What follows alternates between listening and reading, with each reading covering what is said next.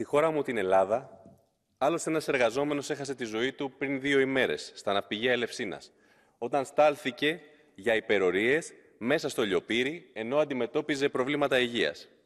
Η Ευρωπαϊκή Ένωση κάνει κάποιες μη υποχρεωτικές συστάσεις και επιδιώκει να ρίξει την ευθύνη στην κλιματική αλλαγή.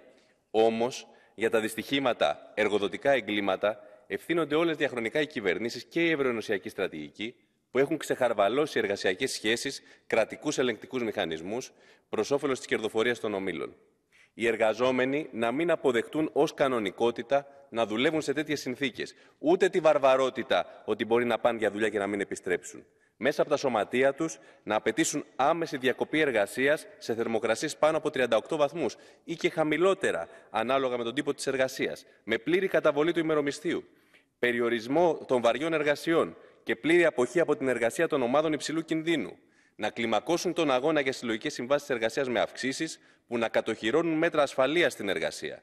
Να απαιτήσουν στελέχωση των δημόσιων νοσοκομείων, του ΕΚΑΒ, ιατρούς και νοσηλευτικό προσωπικό στους τόπους δουλειάς, ενίσχυση των κρατικών υπηρεσιών ελέγχου.